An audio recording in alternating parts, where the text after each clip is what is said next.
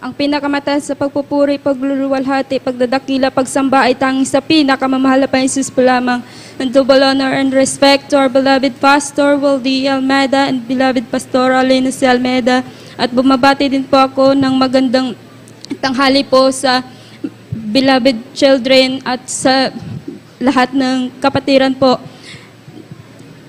I-share ko lang po mga minamahal ang kadakilaan ng pinakamamahal na Panginoon sa aking buhay, mga minamahal.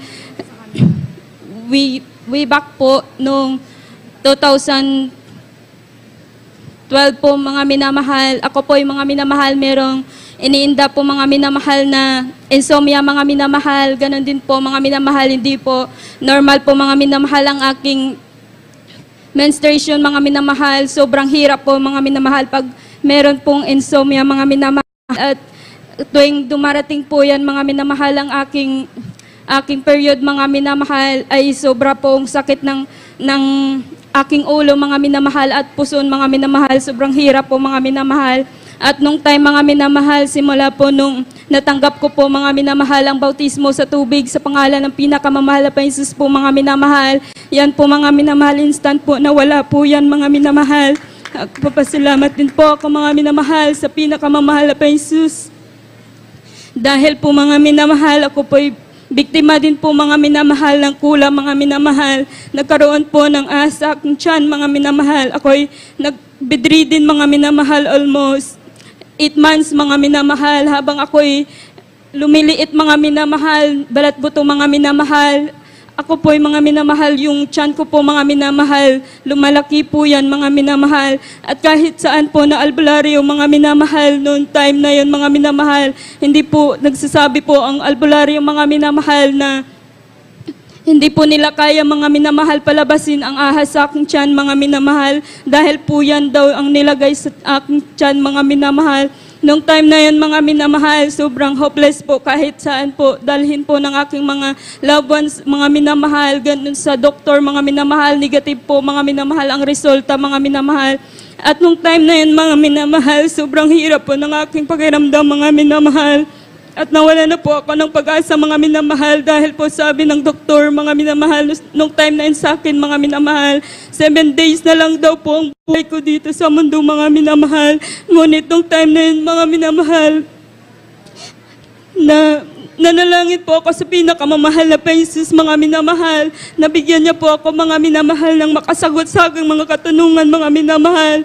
Nung time na yun, mga minamahal, ay silent po ang aking paghiling, mga minamahal, sa pinakamamahal na Panginoon. Kung meron po ba ako mga minamahal, kagalingan mga minamahal, at nung time na yun, mga minamahal, kinabukasan po, dahil ako bedridden, mga minamahal, meron pong kumatok sa bahay namin, mga minamahal, na hindi ko rin po kilala, mga minamahal. Nung time na yun, mga minamahal, tinanong niya po ako, mga minamahal, kung ako po si Mayan Buen Pineda, mga minamahal. Nung time na yun, mga minamahal, nagsagot po ako, mga minamahal, nga ako po yun, mga minamahal.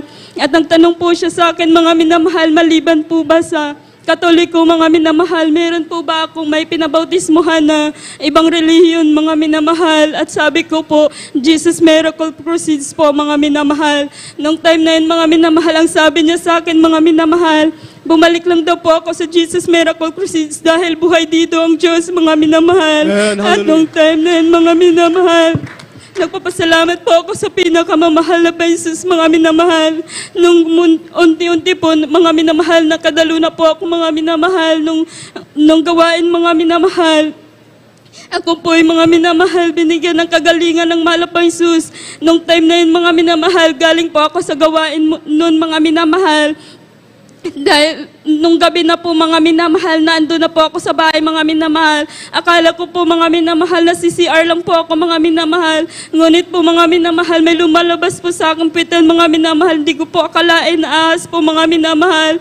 At nung time na yun mga minamahal, sinunod ko po mga minamahal. Ang sabi ng Beloved Pastor, mga minamahal, na pag ikay may karamdaman mga minamahal, manalangin mga minamahal at i-catch out mga minamahal. Anong time na yun mga minamahal?